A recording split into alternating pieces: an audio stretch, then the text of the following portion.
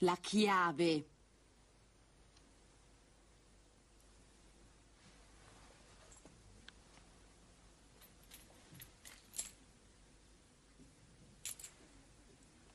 Hai finito coi sotterfugi, con le tue bugie.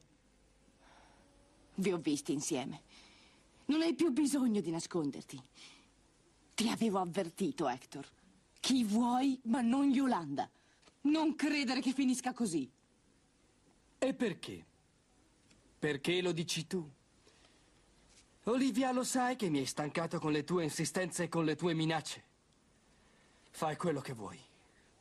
Ti consideravo più intelligente. Yolanda ti sta usando, Hector. Ma non mi dire. Ha saputo raggirare tua madre, che è stata così generosa con lei. Ride anche dell'amore del dottor Hidalgo, che per lei farebbe qualsiasi cosa. Pare che Yolanda si diverta a giocare con gli uomini. E se così fosse? Chi sei tu per giudicarla, Olivia? Tu, proprio tu, che hai ingannato tuo marito per tutti questi lunghi anni, che hai tradito la sua buona fede, la sua fiducia, che l'hai umiliato, solo perché ti piacevo e volevi toglierti qualche capriccio. Come puoi avere il coraggio di rinfacciarmelo? Non lo sai che l'ho fatto per te, per amor tuo? No, tu non mi ami, Olivia. Hai solo bisogno di provare a te stessa che sei ancora desiderabile.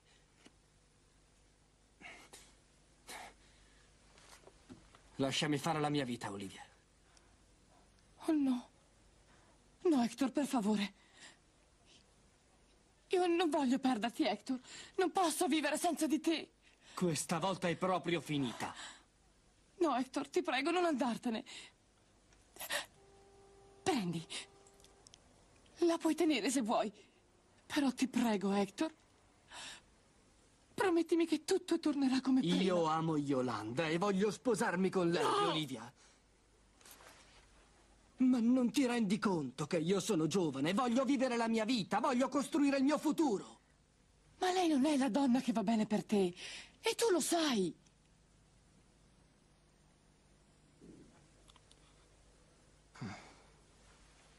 Yolanda sarà mia moglie. Cerchi solo di convincere te stesso. Ma togliti dalla testa Yolanda, perché lei non sarà mai tua moglie.